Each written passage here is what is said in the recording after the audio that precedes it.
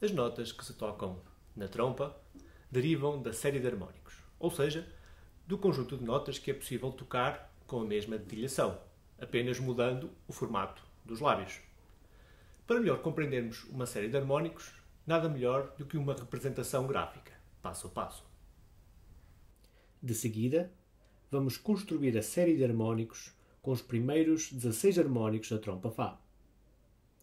Começamos com a nota Dó da trompa, que no piano é um Fá, daí o nome desta série.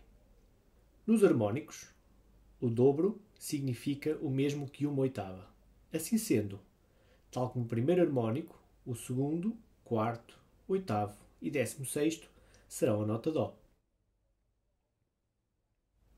De seguida, o terceiro será um Sol, uma quinta perfeita acima do segundo harmónico e uma quarta perfeita abaixo do quarto. Como o dobro de 3 é 6 e o dobro de 6 é 12, o sexto e décimo segundo harmónicos serão também um Sol. De seguida, o quinto será um Mi, uma terceira maior acima do quarto e uma terceira menor abaixo do sexto, formando um arpejo maior entre o quarto e o sexto harmónico. O dobro de 5 é 10. Logo, o décimo harmónico também será um Mi. De seguida, o sétimo, uma nota muito especial. Trata-se de um Si bemol muito baixo, que fica algures entre o Si bemol e o Lá, ou seja, um pouco mais do que um tom abaixo do oitavo harmónico. Da mesma forma, o décimo quarto também será um Si bemol baixo. O nono é um Ré, um tom de distância do oitavo e décimo.